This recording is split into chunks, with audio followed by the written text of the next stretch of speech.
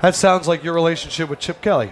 I'm just kidding. Somebody behind me talking. He talking to you. Yeah, tell him about that. Tell him about your relationship with Chip Kelly. He messed up the dream team, the real dream Yeah, team. right. Like we really could have been Super Bowl. When you champs. say it out loud, Yeah, you say special. Vick, DeSean Jackson, Jeremy Maclin, LeSean McCoy, insane. Brent Celek, that offensive line that had studs. even Ertz was there too. Wasn't Ertz, was, baby Zach- Ertz. yeah, Zach, Zach came in after the- Yep. What is it like when you're on a team and it's like training camp and you look around and you go, we're about to be a problem? Like, can you just feel it in the locker room? I- I think the mentality. I think you built that mentality early on because you gotta say like through OTAs, you know, training camp, like you build a camaraderie with the team. Like everyone that like we're not just playing together and just go to work together, but like we was really hanging out, going over each other's houses. Is that rare?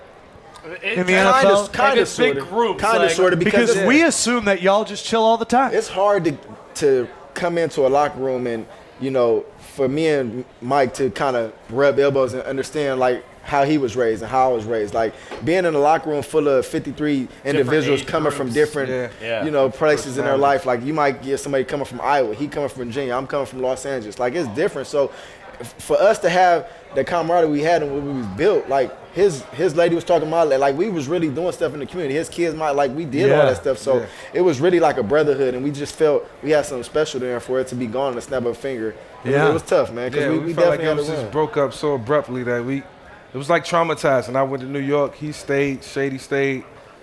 Maclin left and went to Kansas City. It was it just What happened, happened? so like in your year, if you had to sum it up in like one sentence, right? Like, I mean, I, I, I'll give it straight to you. Yeah, I, I, go I'm real. I, I, would, I would just say it's like this. So you have a coach that comes in and brings in his own stigma or his culture or his Philosophy. philosophy, whatever you want to call it. Right. And he was one of them coaches where he didn't believe in players. Like it was his system. And the NFL is players that wins championships. Like don't get me wrong. Like Wow. in New England Patriots, they have a system that Bill Belichick has. but you they know, find installed. matchups within the system. You get what I'm saying? And, Right. and I just Right. felt like it's players in this league. Like you have Tom Brady, you have Edelman, you have Gronkowski, you have all these pieces to the puzzle. Right. And Chip Kelly was one of them coaches where he was like, "It's my system." This is what like we do. Wow. like literally when he was I never hired, looked at it like that. when he was hired, him, me.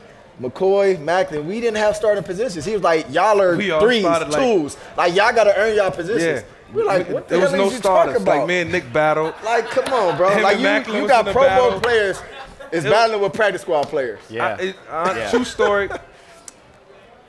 Just that year, I'm laying in my hyperbaric chamber before a preseason game. I never told y'all this. I'm battling Nick Foles for a starting position now. I've been the starter for Right. 12 years of my, of my career. Now I'm in a battle, which I'm clearly winning. Nothing against Nick. I, nothing but respect for him. We love him to death. Right. I'm sitting in my hyperbaric chamber with tears coming out my eyes, crying because I'm like, I'm, I done did going on? everything I could for Chip Kelly. Mm. I done showed him that, that the leadership, play on the field speaks for itself. Galvanized the team when we had a tough time, you know, with, with what happened with Riley Cooper. And I'm like, it's still not enough. And it- it's just a reflection of what DeSean is saying. We we did everything we could to, to show him that we'll give you everything that we got, 110%. And it was more about his system and himself than us.